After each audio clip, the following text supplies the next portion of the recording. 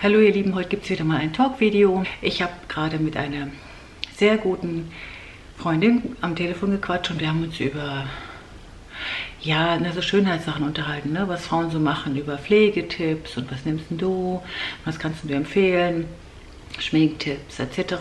Und da fiel mir ein, es gibt doch viele Sachen, äh, die offen sind bei manchen Frauen. Also wie man sich schminkt, was man für Fehler macht, unbewusst man denkt, man macht es richtig und macht doch einen Fehler. Und dann habe ich mir so überlegt, es gibt eigentlich ein paar Tricks, um jünger auszusehen. Und dann habe ich kurzerhand mir jetzt eine Perlenkette drum geschmissen, dass ich ein bisschen frischer aussehe, weil Perlen lassen immer die Augen leuchten und Perlen sowohl an den Ohren als auch am Hals. Perlen machen so eine Frische. Also die sind überhaupt nicht altbacken, ne? ganz im Gegenteil. Und habe mich jetzt hier hingesetzt, habe mir die Kamera äh, vors Gesicht gestellt und laber jetzt mal los. Also, im Herzen sind wir ja alle jung, ne? Mhm. Nur unsere Haut, ich meine, wir werden nun mal älter, das ist nun mal so, das können wir nicht ändern. Eltern ist, oder älter werden ist nichts für Feiglinge, wir werden alle älter an dem Kelch, also da kommt keiner vorbei. Mm, also auch wenn wir uns im Herzen jung fühlen, heißt es ja nicht, dass unsere Haut auch so jung aussieht.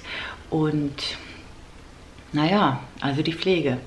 Es geht um die Pflege und, und auch um ein paar Tricks, die helfen, wirklich die ganz simpel helfen, um ein so ein Kicken jünger aussehen zu lassen. Ja, als allererstes die Brille. Also viele glauben, mit einer Brille äh, wirkt man älter. Ist Quatsch, stimmt nicht. Ganz im Gegenteil, weil eine modische, tolle Brille lenkt jetzt den Blick auf das Gestell und auf die Nase und nicht auf Augenringe oder Tränensäcke oder was man so hat. Also eine schöne modische Brille es gibt ja noch sehr viele Brillenträgerinnen in unserem Alter. Also ich habe nun auch eine, aber ich brauche die nur zum Lesen, also zum Gucken. Also zum Weit nicht. Ich brauche die nur zum Lesen, sonst sehe ich nichts. Bin ich blind wie ein Maulwurf. Nee, nicht wie ein Maulwurf, aber ich muss mich total anstrengen und gucke dann wie ein Maulwurf. Sagt meine Freundin, du guckst dann mal wie ein Maulwurf. Das ist auch gar nicht gut, macht auch Falten. Ne? Das nächste Ding wäre ein Pony. Pony ist so eine Sache, mag nicht jeder, aber es gibt durchaus Frauen, auch junge Frauen, die äh, Ponys tragen, gerne tragen und das sieht auch richtig toll und frech und süß und schick aus. Ein Pony lässt nämlich diese Stirnfalten, die wir im Alter irgendwie bekommen, Stirnfalten verschwinden, aber man muss aufpassen, man muss es probieren. Nicht jeder Frau steht ein Pony.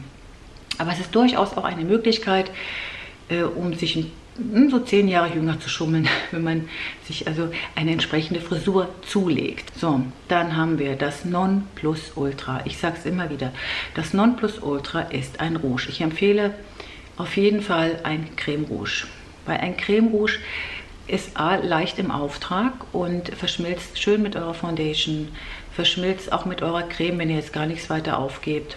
Und dieses Creme Rouge, also die berühmten Apfelbäckchen, jetzt nicht diesen Balken, ja, also die berühmten Apfelbäckchen, weil das lässt ja so nach hier, ne? diese Struktur im Alter.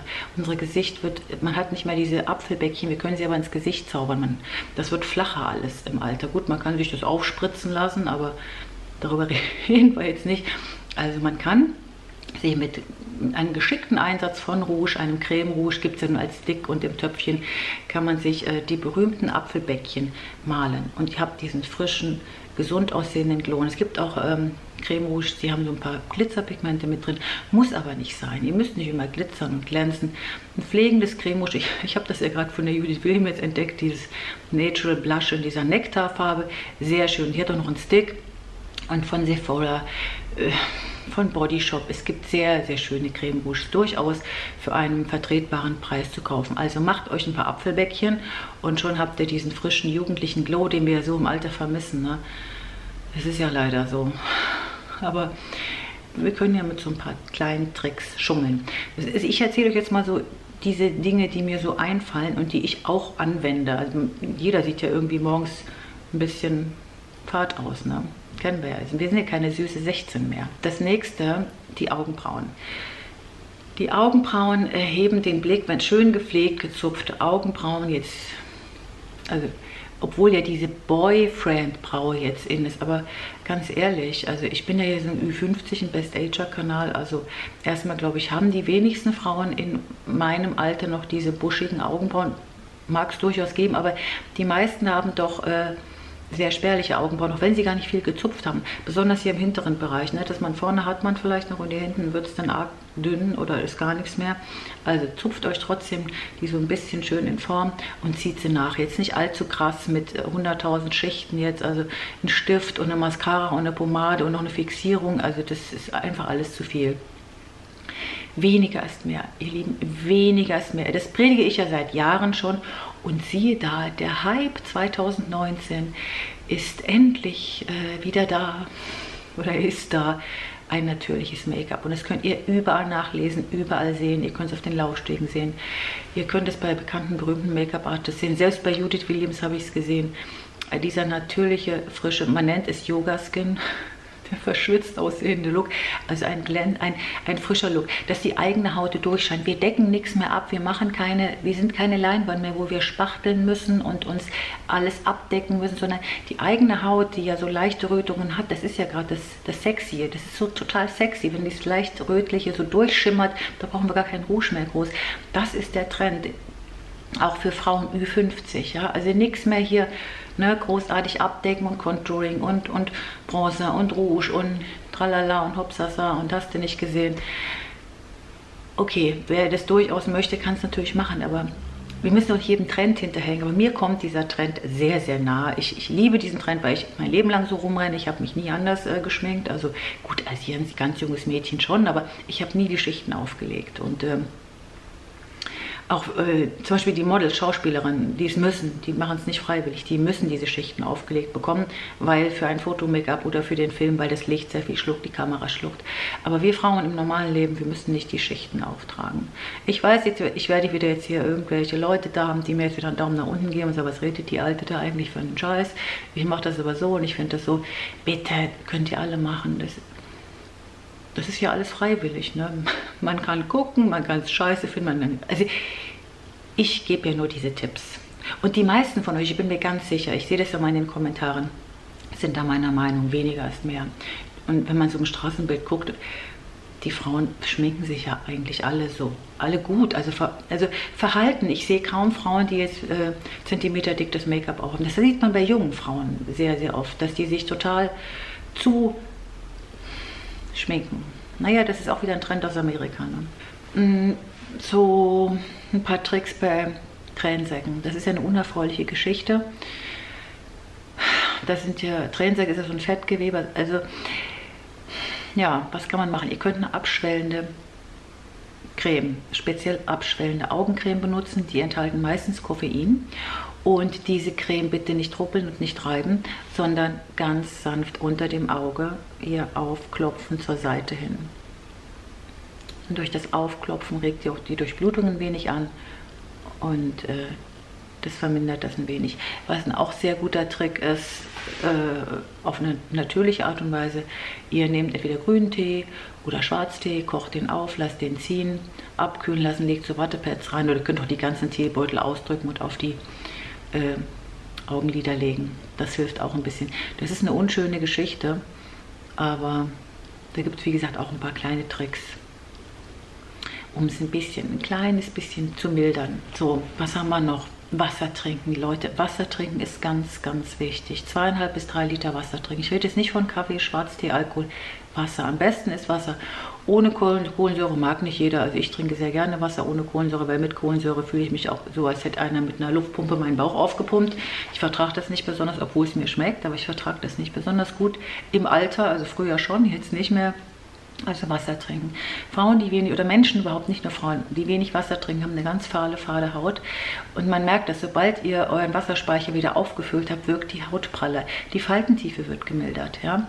Und ähm, alles wird wieder angekurbelt. Ihr fühlt euch auch besser. Euer Stoffwechsel funktioniert wieder. Also Wasser trinken. Es hilft nichts, wenn ihr nur immer die Anti-Aging-Cremes euch ins Gesicht äh, äh, äh gebt, wenn ihr zu wenig trinkt. Das Trinken ist so wichtig und Viele vergessen das, besonders im Winter. Im Sommer trinkt man vielleicht noch mehr, aber auch im Winter müsst ihr trinken. So, und dazu zählen, wie gesagt, keine süßen Getränke, kein Alkohol, Kaffee. Sagt, das ist ja so umstritten mit dem Kaffee. Also trinkt einfach anderthalb, nee Quatsch, zweieinhalb bis drei Liter Wasser. Und das kriegt man hin. Das, ist, das kann man sich antrainieren. Was ist noch äh, so ein Trick, um jünger auszusehen? Farbe zu tragen. Ganz einfach. Farbe zu tragen. Wenn ihr äh, fröhliche Farben tragt, äh, wirkt euer Teint anders, frischer, jugendlicher, als wenn ihr nur grau oder schwarz tragt. Ich trage auch gern grau und schwarz und gedeckte Farben, aber nicht zu unterschätzen ist die Farbe gelb. Die Farbe gelb hat einen, diesen sofort Aha-Bam-Effekt und die ist ja auch sehr stark dieses Jahr vertreten in äh, den Modegeschäften. Wir sehen sehr viel Gelb. Bei Gelb ist diese jugendliche Power. Und ihr solltet mal nicht meinen, Gelb steht fast jeder Frau. Es gibt ja verschiedene. Es gibt gedecktere Gelbtöne, es gibt kreischende Gelbtöne, es gibt pastellige Gelbtöne, es gibt Neongelb. Da findet jeder für sich einen Ton. Also ich habe auch festgestellt, dass mir Gelb komischerweise ganz gut steht. Also Orange nicht, aber Gelb steht mir ganz gut. Das, das, das, das macht was, das macht was her. Probiert es mal aus, haltet euch mal verschiedene Gelbtöne so ähm, hier, ne, so unter das Gesicht und schaut mal, wie, wie euer Ton wirkt. Also ist auf jeden Fall ein Versuch wert. Dann gibt es noch so ein paar äh, Fehler beim Pflegen. Zum Beispiel, ja, ihr benutzt die falsche Pflege. Das ist verrückt. Viele Frauen pflegen sich und haben trotzdem Hautprobleme, weil sie die falschen Produkte benutzen. Es gibt nicht die Allround-Creme für alle, die, die diese Ganzgesichtsheizcreme, weil wir haben verschiedene Zonen im Gesicht. Die T-Zone hier, die ist meistens fettig und, und die Wangenpartie ist trocken. So, oder empfindlich und man, kann eine Creme nicht alles ähm, abdecken. Also ihr pflegt euch zwar, entweder seid ihr überpflegt oder unterpflegt oder falsch gepflegt. Also ganz wichtig, ihr müsst die richtige Creme für euch finden. Das könnt ihr alleine herausfinden oder ihr lasst euch helfen. Ihr könnt euch beraten lassen, in einer Dro die Drogerie nicht, aber in einer Parfümerie oder ihr lasst euch bei der Kosmetikerin beraten. Also ganz wichtig, die richtige Pflege für euch zu finden wenn ihr auf einen Lichtschutzfaktor verzichtet. Das ist ungemein wichtig, äh, auf den Lichtschutzfaktor zu achten. Auch nicht nur im Gesicht, auch hier, besonders am Handrücken. Jetzt, wenn diese Jahr, äh, warme Jahreszeit wieder losgeht, die ersten Sonnenstrahlen kommen, weil die Hände sind immer ungeschützt. Und dann wundern wir uns, mein Gott, wieso habe ich denn so Altersflecken und so. Ne? Also Lichtschutzfaktor, ganz wichtig ihr benutzt äh, das falsche Peeling. Besonders Frauen mit unreiner Haut, die meinen, naja, ich muss nur genug peelen, dann wird das schon. Ihr erreicht die Spitze des Eisbergs damit. Also mit, mit Peeling kann man auch sehr viel Schaden anrichten. Am einfachsten, am schönsten und am unkompliziertesten und am Wirkstoff oder am, am effizientesten sind diese Enzympeelings. Und äh, da habe ich euch auch schon einige vorgestellt. Mein absoluter Favorit ist dieses Enzympeeling von Dalton gerade. Also das ist, ähm, das empfehle ich jedem ungefragt. Das ist das Beste, was mir, was ich hier auf meiner Haut hatte. Und ich habe jetzt auch eine empfindliche Haut, aber auch wer jetzt eine unreine Haut hat oder, oder auch Pickel und so weiter. Also ein Fehler kann sein, dass ihr das falsche Peeling benutzt, wenn zu viel Parfum in den Produkten ist. Es gibt, diese Erfahrung habe ich jetzt letztens erst gemacht. Ich habe bei diesem Verkaufsdings da, HSE, habe ich mal Judith Williams bestellt, weil ich von diesem Rouge so angetan war. Und da gab es so ein Special Sondergeburtstagsangebot. Und ähm, ist es wurscht, was ich da mir bestellt Ich habe mein Serum bestellt und eine Creme und wollte das testen. So, und ähm, der, ich habe das geöffnet und das Serum, also innerhalb von fünf Minuten das Paket kam. Ich habe es aufgemacht, habe die, dieses Serum aufgeschraubt, habe dran gerochen und dachte mir, oha, nein, geht gar nicht. Ich habe mir ein bisschen was auf den Handrücken gegeben. Es war so intensiv, es war so stark parfümiert. Und diese Parfümstoffe, nicht nur synthetisch, auch normale, also jetzt so ätherische Öle oder so, können äh, Allergien hervorrufen, Reizungen hervorrufen, dass man es einfach nicht mehr verträgt. Ne? Da müsst ihr darauf achten, nicht so viele Parfümstoffe in den Produkten. Noch ein Fehler, was nicht gemacht werden darf, auch wenn keine Zeit ist oder doch Zeit ist schon da. Make-up-Rest über Nacht, wenn ihr euch nicht richtig abgeschminkt habt. Aber ich glaube, das muss ich gar nicht erwähnen. Das machen wir nicht mehr in unserem Alter. Ne? Wir, schminken, wir schminken uns schon richtig ab und lassen eine gute Nachtcreme äh, über Nacht einwirken. Dann gibt es auch noch Fehler, die man machen kann beim Make-up. Hm. Also nicht nur beim Augen-Make-up, generell beim Make-up. Zum Beispiel ab einem gewissen Alter zu auffällige Farben benutzen oder zu viele Farben benutzen auf einmal. Hatten wir alles schon mal klar, aber zu auffällige Farben benutzen. Aber ich glaube, da muss ich auch nicht weiter darauf eingehen, das wisst ihr. Also das wäre ein Fehler. Äh, was ein riesengroßer Fehler in meinen Augen ist und was eigentlich ja ignoriert wird äh, oder was, äh, wo, wo, sehr großzügig besser, besser, wo sehr großzügig mit umgegangen wird. Mit der Foundation, mit dem Concealer, mit dem Puder, mit dem Bronzer, mit dem Contouring. Alles zu viel. Äh, was man so sieht, was vorgestellt wird oder ihr schaut ja YouTube, um euch Tipps zu holen, um euch Anregungen zu holen, ähm, zu sehen, was kann ich machen, womit würde ich mich gut fühlen. Na klar ist dieser Vorher-Nachher-Effekt, wenn man sich so richtig messerdick schminkt, der ist enorm. Sicher, sieht mega geil aus, aber ähm, das sind oft Make-ups, also Foto-Make-ups oder solche Make-ups werden gemacht, um jetzt Fotos zu machen für eine Zeitung oder eben für ein Foto, also für ein Bild, ne? für eine Setkarte, für eine Modenschau. Und selbst bei einer Modenschau. Seid doch mal ehrlich, wenn ihr jetzt im Fernsehen schaut oder generell so, guckt euch Schauspielerinnen an oder Leute, die ihr toll findet, sind die so doll geschminkt, die sind so, oder das schönste Beispiel ist für mich auch mal Heidi Klum, eine mega Frau, äh, total verhalten geschminkt. Das ist, ähm, die haben nicht diese überzeichneten Augenbrauen. Es ist äh, mein Beruf und ich kann nur aus dem Nähkästchen plaudern. Also zu viel ist einfach zu viel. Wenn ich mir überlege, was ich, äh, was manchmal so aufgegeben wird, also man trägt eine Tagescreme auf, vielleicht, also man trägt ein Serum auf, eine Tagescreme auf, dann vielleicht noch ein Primer, dann eine Foundation, äh, dann noch ein Contouring, dann noch ein Bronzer, dann noch ein Rouge und dann noch ein Fixing äh, Powder. Heiliges Blechler überlegt mal, was ihr da auf der Haut habt. Wie soll denn die Haut da atmen? Und, und es fällt dann irgendwann zusammen. Und dann sieht man wirklich schrecklich aus. Und auch wenn dieser Concealer, na klar, ein Concealer ist ein Mega-Produkt, eine geniale Erfindung, um die Augenpartie aufzuhellen. Aber das äh, wirklich nur ganz, ganz sparsam und immer, also so ein paar, also 0,5, also einen halben Zentimeter würde ich sagen, weg vom Wimpernrand ne, einklopfen. Klopft bitte immer die Produkte ein.